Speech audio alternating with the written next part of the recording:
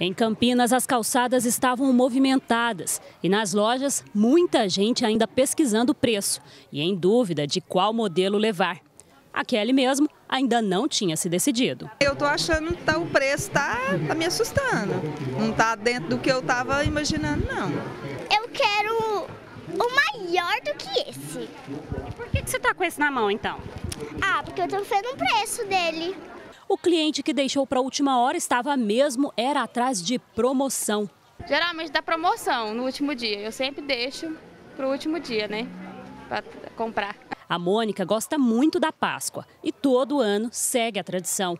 Está levando ovos para todo mundo da família. São só meus filhos, meu genro, né, minha netinha.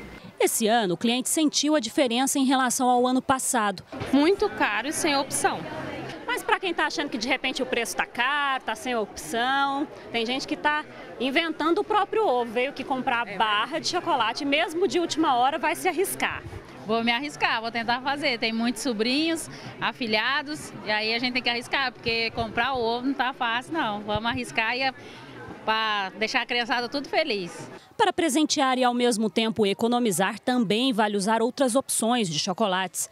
O Equitógeno está levando algumas caixas de bombons. Quem cobra mais é criança que gosta mais, né? Agora o adulto já não importa tanto, né? Pode ser um, uma lembrancinha. Agora a criança está mais enjoado com o estranho de ovo de Páscoa. Teve supermercado em que o movimento neste sábado foi menor mas boa parte do estoque já tinha ido embora. Tivemos sim um movimento bem satisfatório, a gente teve umas rebaixas bem é, expressivas, né, que agradou o nosso cliente. Então, sim, pela nossa exposição, podemos observar assim que os clientes saíram daqui satisfeitos.